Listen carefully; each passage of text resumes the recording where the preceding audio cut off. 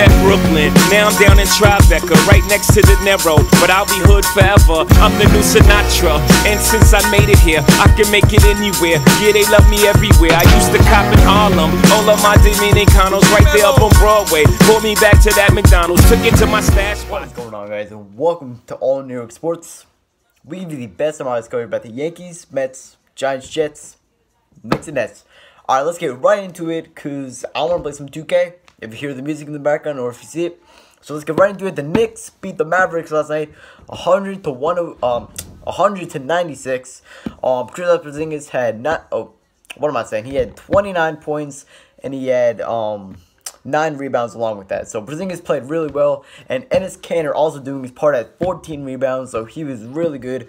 Um, both on defense and offense. He had eight offensive rebounds, which is really nice. Um, we needed a center like Kanter for a long time, and we finally got him. So uh, yeah, I'm proud that Kanter's been playing really well because, as you guys know, we got him from the Thunder in the Carmelo Anthony trade. So that was uh, really good.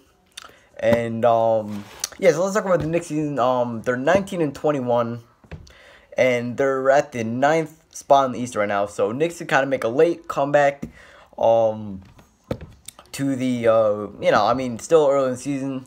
Not really as earlier as, like, you know, when it first began, but, you know.